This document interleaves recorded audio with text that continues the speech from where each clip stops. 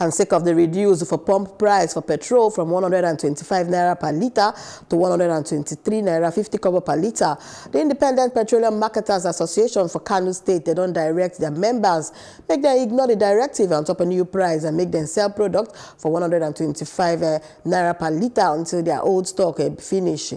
And I man and Chamo for Kano State, eh, Alhaji Bashiru Dan Malam, and uh, eh, we give the directive when he been the address one news conference for Kano on Wednesday.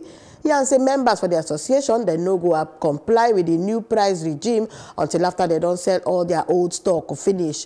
The Petroleum Products eh, a Price Regulatory Agency on Tuesday night, they announced the reduce for pump price from 125 naira per litre to 123 naira 50 kobo per litre.